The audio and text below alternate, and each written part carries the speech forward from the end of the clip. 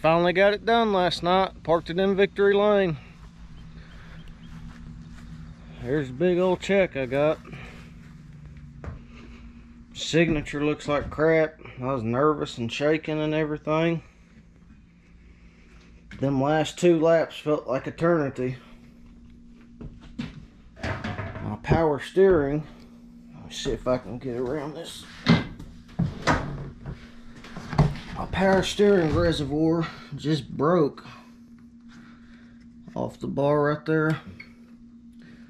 Cap, everything came out. And those last two laps was awful. Had to use some muscles. But I can't even unload it. I borrowed a distributor last night, gave it back. I ain't even went and got one yet, but we did get a fancy sticker to put in here and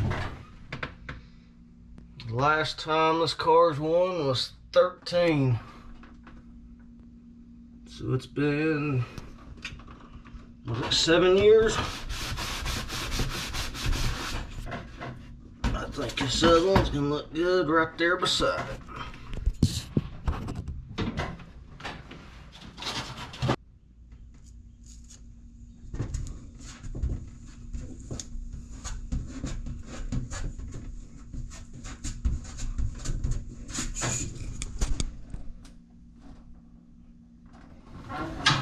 Twenty twenty, twenty thirteen, twenty twelve.